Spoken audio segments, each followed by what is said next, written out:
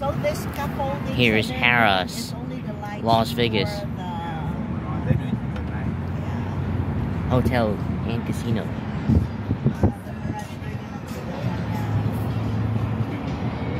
This is where we watched the Cirque du Soleil before tayo. This one, the Mirage.